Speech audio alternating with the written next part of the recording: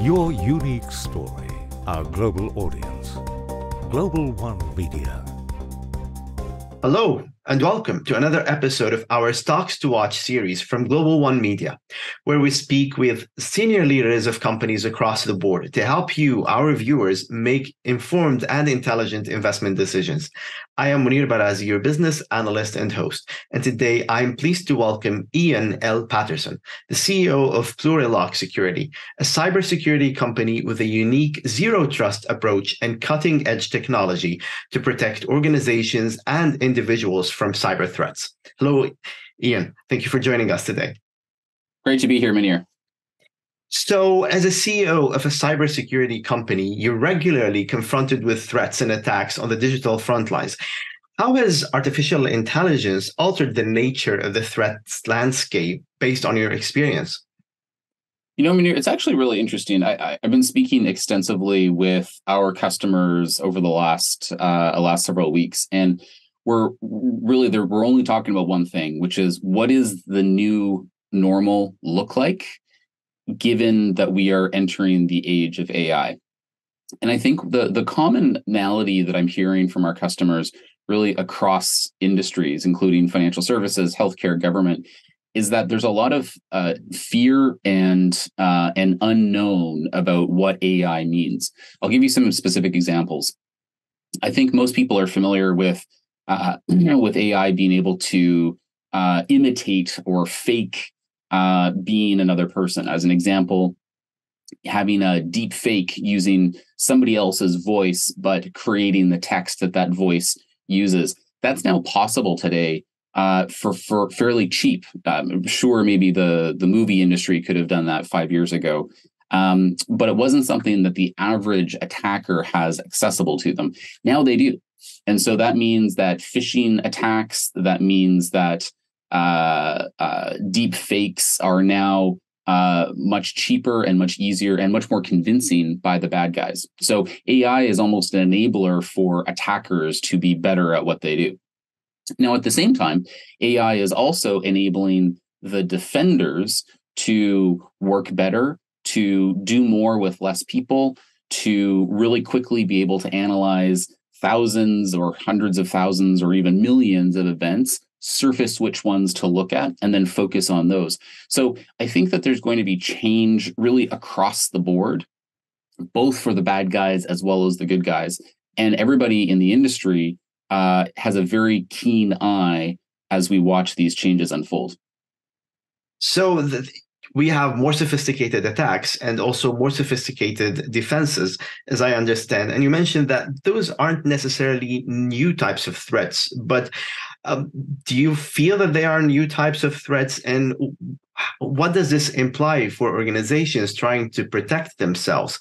How does the cybersecurity function if an organization need to address this? So it's a good question. I, I think that there's uh, an evolution of threats. It's not necessarily new threats, but I think we're seeing a, an evolution or a sophistication of threats taking place. Uh, we've always had uh, spam emails, we've always had phishing emails, but usually, you know, when you and I, when you or I get uh, an email supposedly from DocuSign or from SharePoint, right? We're, we're usually able to spot the the spelling mistakes, and it, it doesn't really look like it should and I think now what we're going to see is that those are going to be much harder to disambiguate between what's real versus what's not. I also think, though, that what this means is that we're going to need a, a new uh, set of tools. You know, I think I think AI is the next gold rush, um, and that there's there's going to be a lot of tools that need to be developed for the for organizations to be able to defend against these threats you know, we, we need a new set of, of shovels and pickaxes to be able to spot, uh, defend against, uh, and potentially remediate from uh, these new types of AI threats. So there's a lot of focus right now on this problem, and there's a lot of um, conversation around how to defend against these threats. I'll give you some practical examples. Um, you know, with with regards to um, organizations who are using AI inside their business, maybe not in the security portion, but for instance, maybe in the sales and marketing department or in the accounting department or in the HR department. Um, these departments are also seeing uh, uh, disruption and uh, and a desire to use AI technologies, and the security teams are are somewhat um, um, unprepared to be able to help those departments secure their AI usage. So I think we're going to see a lot of change in this space. So let's talk about Plurilock's role in all of this. You mentioned that organizations need new sets, uh, a new set of uh, tools uh, to fight uh, against those new cyber threats. Tell us about how uh, Plurilock can help those organizations uh, really fight on those digital front lines. So we've come out with a, a, set of guidance around the policies that organizations should take with regards to AI usage. Uh, so we've actually published a, a, a free uh, template um, around an AI governance document. So this is something that uh, larger businesses um, should consider putting in place, which would govern the the use of AI tools inside organizations. And so some of the risks from using AI inside organizations is um, it the, the, that usage could incur risk from uh, from accidental or intentional data leakage that might take place. So that's one of the things. I think one of the other things that that we're seeing a lot of is how to um, how to get awareness of what AI tools are being used inside organizations. So from a from a, a strategic lens, the the three pillars that that we're recommending are put some governance in place to uh, set the appropriate policies of what organizations should allow or should not allow. So that's the first part. And, and again, we've published a, a, a free template that that organizations can use.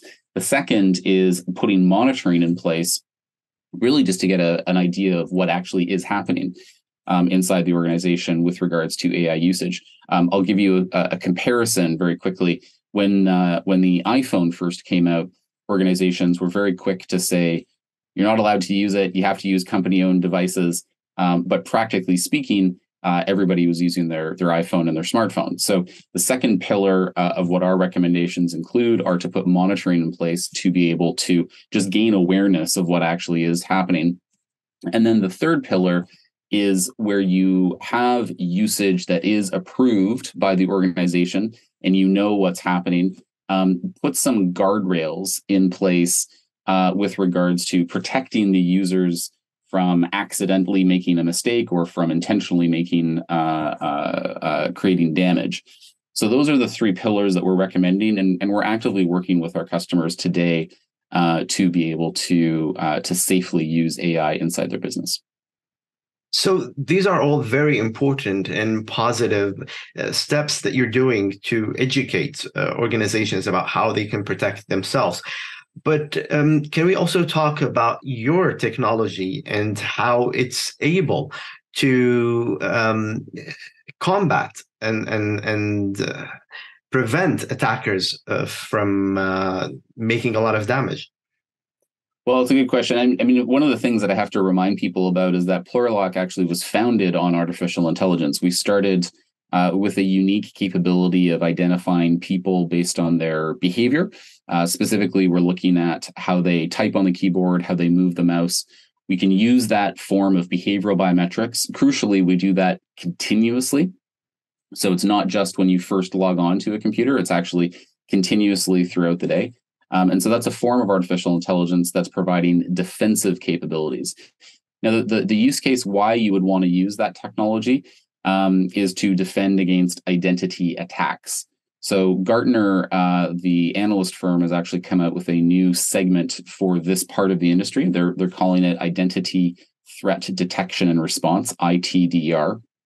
Plurilock is a leader in this space, and we're it's it's a recognition of the fact that bad guys uh, are are not trying to pierce firewalls necessarily. They're really just going straight after the credentials. They want to attack your account. They want to take that over because once they have your account, they're able to to steal data, deploy ransomware, extort companies, etc. So Plurilock is uniquely positioned to provide that level of continuous authentication with our patented technology. Uh, technology is actively in use today. Um, I was actually speaking to one of our, our large financial institution customers um, just a couple of weeks ago who was uh, relayed a story that um, they had deployed our software. Um, it was specifically protecting work from home uh, uh, users, so employees who were who were not in the office, and uh, they indicated that um, uh, an employee had logged in a couple hours later. Um, system uh, actually locked and sent an alert to the security team. Security team investigated, had a conversation with the employee. As it turned out, uh, the employee was not on that device. It was actually one of their kids who had who had jumped on. Um, now that's exactly what we expect the system to do. It recognized that there was an unauthorized person. In this case, it was one of the kids. Uh, it it successfully locked. It prevented uh, data from being accessed or systems being accessed. Now that's a pretty benign example, um, you know, but that's also the same uh, use case that we would expect. To, that's the same impact that we would expect if it was somebody uh, unauthorized, uh, a bad guy who had somehow gotten access to that account. So, um, so that's how we're using artificial intelligence today uh, to defend against these types of attacks. Wonderful. And and as you said, I can imagine that there are less benign examples that you are protecting uh, organizations uh, for. Uh, any final thoughts uh, or insights you want to share with uh, not only customers, but uh, also investors, though, those that have already invested and those that are still making their decision? So what I would say is is stay tuned. This is a very quickly changing industry and uh, I would say that uh, Plurilock has a number of initiatives that we're not quite ready to talk about yet, um, but I think will be quite exciting for for folks when they see. Uh, and so, I would encourage everybody to sign up for our investor updates. Uh, if you go to Plurilock.com, go to the investor section uh, and sign up for the updates. Um, and then that way you'll be able to get uh, get notified in real time when when these announcements are made. Wonderful. Ian L. Paterson, the CEO of Plurilock Security, thank you so much for joining us today. Plurilock is publicly traded on the TSX Venture Exchange as PLUR, on the OTCQB as PLCKF, and on the Frankfurt Stock Exchange as 659. Thank you so much, Ian, and we look forward to seeing you again. Thanks, Peter.